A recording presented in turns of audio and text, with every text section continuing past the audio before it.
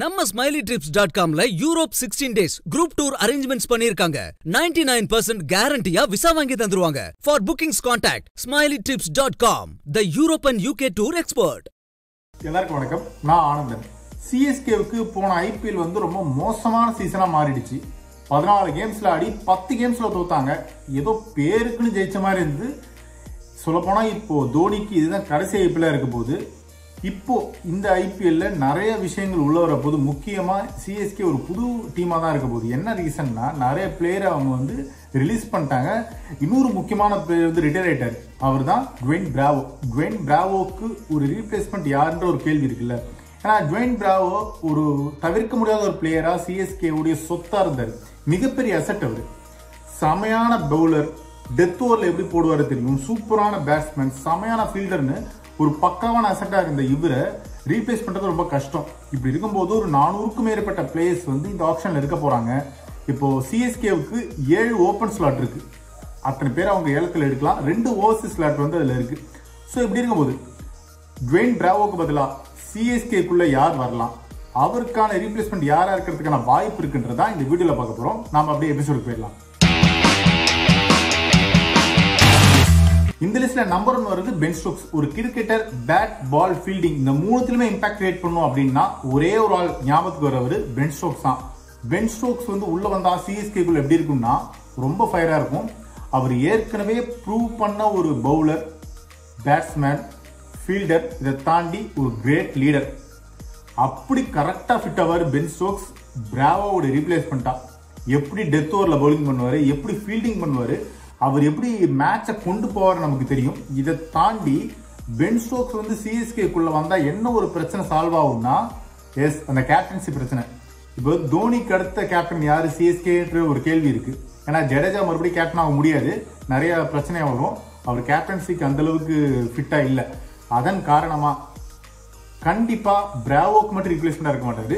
தோனிக்குமே அவர் வந்து ரீப்ளேஸ்மெண்ட்டாக கேப்டனா உள்ளே வருவார். ஸோ ஆனா இங்க ஒரு பிரச்சனை வருது. என்னன்னா பென் ஸ்டோக்ஸ் அவ்வளவு சீப்பாலாம் கிடைக்க மாட்டாரு. பல டீம்ஸ் அவரை டார்கெட் பண்ணுவாங்க. ஏன்? ராஜஸ்தான் ராயல்ஸ் கூட அவரை டார்கெட் பண்றதுக்கான வாய்ப்பு இருக்கு. ஹோல் பத்து டீம்ஸ்ல கண்டிப்பா ஒரு எட்டு டீம்ஸ் ஆகுது. அப்படியே குறி வைப்பாங்க பென் ஸ்டோக்ஸை எப்படியாவது ஒரு வாங்கணும் அப்படின்னு. ஸோ அதனால மிகப்பெரிய செட்டா இருக்க போறாரு. அதன் காரணமாக சிஎஸ்கே பென் ஸ்டோக்ஸை வாங்குறதுக்கான அதிக வாய்ப்பு இருக்கு. ட்ரை பண்ணுவாங்க கண்டிப்பா ஆப்ஷன்ல இந்த லிஸ்ட்ல ரெண்டாவது வர பிளேயர் யாருன்னா சாம் கரன் சாம் கரனுக்கும் சிஎஸ்கேக்கும் உண்டான பந்தம் என்னன்னு தெரியும். ஏற்கனவே விளாண்டுருக்காங்க ரெண்டாயிரத்தி இருபது ரெண்டாயிரத்தி இருபத்தொன்று ஐபிஎல்ல சாம் கரனும் சிஎஸ்கேவும் அசோசியேட்டாக இருந்திருக்காங்க. இப்போ நடந்து முடிஞ்ச ரெண்டாயிரத்தி இருபத்தி ரெண்டு டி டுவெண்டி வேர்ல்டு கப்புடைய ஃபைனலில் சாம் கரன் பெர்ஃபார்ம் பண்ணார் பாருங்க. சூப்பர் ஒரு பவுலிங்கான man of the match award வாங்கினது அவர் தான் ஸோ இப்படி இருக்கும்போது சாம் கரன்றவர் ஒரு மிகப்பெரிய அசெட் ரெண்டாயிரத்தி இருபது ஐபிஎல் அவரை அஞ்சு புள்ளி அஞ்சு கோடி ரூபாய் கொடுத்து சிஎஸ்கே வாங்கினாங்க அதுக்கப்புறமா சாம் கரன் சிஎஸ்கே உடைய அசட்டா இருந்தாரு. முக்கியமா ரெண்டாயிரத்தி இருபத்தி ஒன்று ஐபிஎல் ஜெயிக்கிறதுக்கு இவரு ஒரு காரணமா இருந்தாரு. கரெக்டான காம்பினேஷனோட இருந்தாங்க. சிஎஸ்கே அந்த டீம் பாத்தீங்கன்னா ரெண்டாயிரத்தி இருபது ரெண்டாயிரத்தி இருபத்தொன்னு ஐபிஎல்ல சாம்கனோட பெர்ஃபார்மன்ஸ் எப்படி இருந்தது தெரியும்? கரெக்டா டெத் ஓவர்ல பவுலிங் பண்ணுவாரு. கொஞ்சம் அதிகமான ரன்ஸ் கொடுப்பாருன்னு வச்சுக்கோங்களேன். ஆனா டெத் ஓவர்ல எப்படியாவது நல்லாவே விளையாண்டுறாரு. அதே மாதிரி பேட்டிங்கும் சூப்பர் ஸோ இப்படி ஒரு காம்பினேஷன் அமையிறது ரொம்ப கஷ்டம்.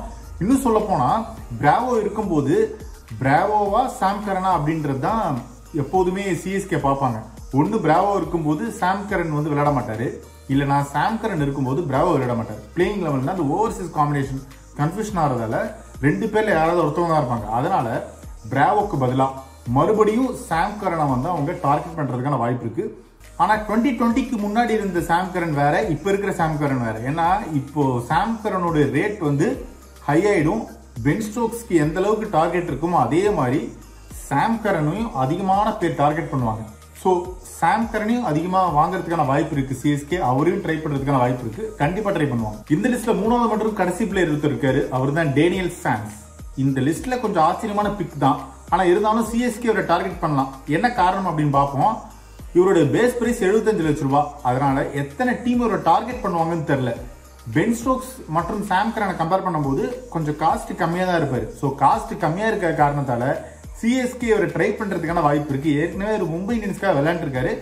டீசெண்டான பெர்ஃபார்மன்ஸ் கொடுத்துருக்காரு. ஒரு பதிமூணு விக்கெட்ஸ் எடுத்திருக்காரு போன ஐபிஎல்ல ஆக்சுவலாக இவர் வந்து நல்லா பேட்டிங் பண்ணக்கூடியவர் பவுலிங்கும் நல்லா பண்ணக்கூடியவர் டெத் பவுலிங் நல்லாவே போடுவார்.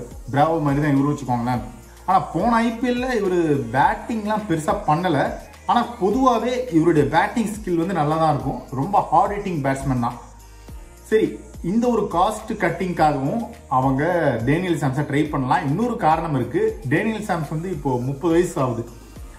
ஆக்சுவலாக எத்தனை ஐபிஎல் டீம்ஸ் வந்து இந்த மாதிரி கொஞ்சம் சீனியர் பிளேயர்ஸையோ எக்ஸ்பீரியன்ஸ் பிளேயர்ஸோ எடுப்பாங்கன்னு தெரில அந்த ஸ்ட்ராட்டஜி வந்து சிஎஸ்கேவுக்கு ஒர்க் அவுட் ஆகாது. மோஸ்ட்லி என்ன பண்ணுவாங்கன்னா அவங்க யங் பிளேஸ்க்கு போகாம எக்ஸ்பீரியன்ஸ் பிளேஸ் தான் போவாங்க. அவங்கள வச்சு கப் அடிக்கணுன்ற மாதிரியான ஸ்ட்ராட்டஜிலாம் வச்சிருப்பாங்க.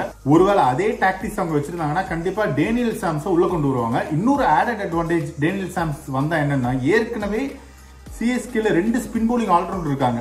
ஒருத்தவர் ஜடேஜா இன்னொருத்தவர் மோயின் அலி. ஸோ இவரு உள்ள வந்தா ஒரு ஆல்ரவுண்டரா பக்காவா டீமுக்குள்ள ஃபிட் ஆவாரு. பேட்டிங் பவுலிங் லைனப் வந்து கொஞ்சம் ஸ்ட்ராங்கா இருக்கிறதுக்கான வாய்ப்பு இருக்கு. ஸோ டேனியல் சாம்ஸ் கண்டிப்பாக அண்டர் ரேட்டட் ஆல்ரவுண்டர் தான். ஏற்கனவே டி டுவெண்ட்டில ப்ரூவ் பண்ணிட்டாரு. அவருடைய பால்லாம் ஸ்விங் ஆகும். இந்த காரணத்துக்காக சிஎஸ்கே குள்ள வரதுக்கான வாய்ப்பு இருக்கு. ஸோ இந்த மூணு பேரை தான் சிஎஸ்கே பிராவோக்கு பதிலாக டார்கெட் பண்ணுறதுக்கான வாய்ப்பு இருக்கு. இதுல எந்த பிளேயர் சிஎஸ்கே குள்ள வரலாம்? இந்த லிஸ்ட்ல ஏதாவது ஒரு பிளேயர் மிஸ் ஆயிருந்தா கூட அப்படியே கமெண்ட் செக்ஷன்ல மென்ஷன் பண்ணுங்க. இந்த வீடியோ உங்களுக்கு பிடிச்சிருந்தா லைக் கமெண்ட் ஷேர் பண்ணுங்க. பிடிக்கலனா கூட சொல்லுங்க. நான் கிளம்புறேன். ஒன் இண்டியா தமிழுக்காக ஆனந்தன்.